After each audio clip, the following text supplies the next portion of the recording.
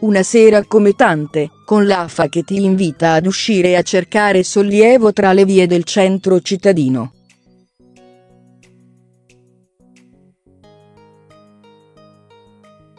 Siamo ad Avellino, lungo il centralissimo viale Italia. Ai lati della strada si susseguono decine di locali.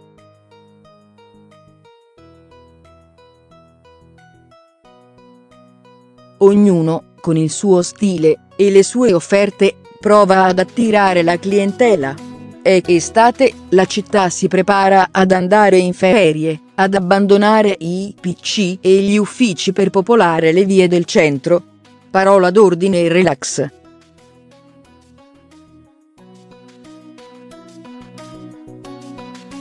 Qualcuno, però, ha una concezione distorta della parola relax. Proviamo a spiegare così i motivi che hanno spinto quattro giovani avellinesi a fare branco, e, quindi, ad aggredire un ragazzo appena ventenne.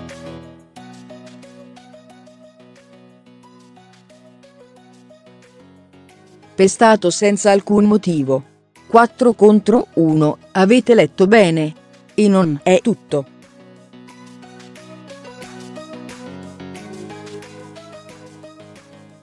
Il ragazzo, il ventenne nigeriano, è stato pestato con calci e pugni. Non contenti, i quattro lo hanno percosso con i caschi.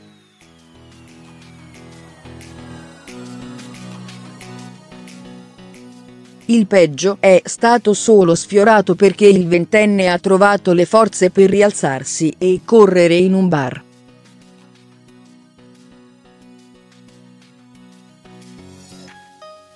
Lì atteso i soccorsi e l'intervento delle forze dell'ordine. All'ospedale Moscati di Avellino gli hanno medicato il setto nasale, rotto, e le varie escoriazioni sulle gambe.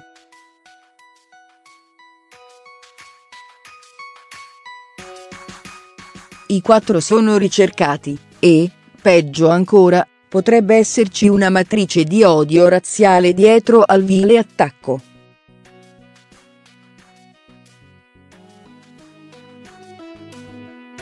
L'aver pestato un ragazzo inerme e innocuo gli costerà molto caro.